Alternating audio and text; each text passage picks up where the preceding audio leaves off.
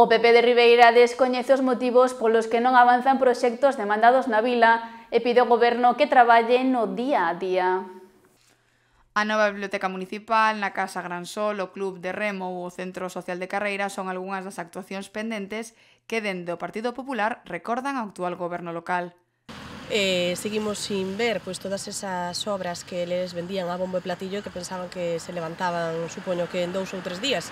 Seguimos sin ver ningún movimento no que é a Biblioteca Municipal, unha biblioteca que eu mesma recordo no mes de xullo, a principios ir a replantear co personal municipal, dende logo pois non volvimos a ver ningún tipo de movimento nunha infraestructura que foi tan demandada e que e coa que tanto nos insistiron en que era prioritaria. Conta cunha inversión de máis dun millón de euros e triplicaría a superficie da actual que ocupa a segunda planta do Lustres Rivas e ademais de ampliar as salas na zona posterior habilitarase un patio con sardín de 200 metros cadrados. A obra que está adxudicada é unha obra coa que xa se iniciou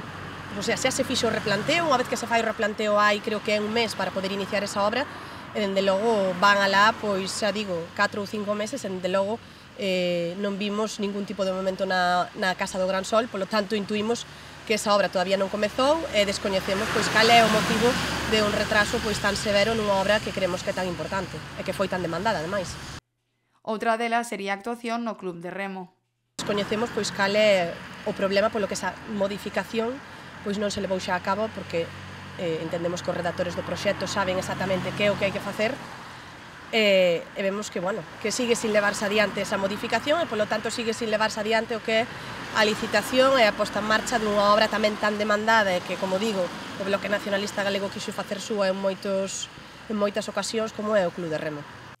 Esta e outras obras nas infraestructuras como o Centro Social de Carreira están paradas, segundo explicou a portavoz popular, que impide ao tripartito que traballe no día a día. Todas esas eh, obras que estaban pois prácticamente para comezar ou ben para rematar, pois siguen sin,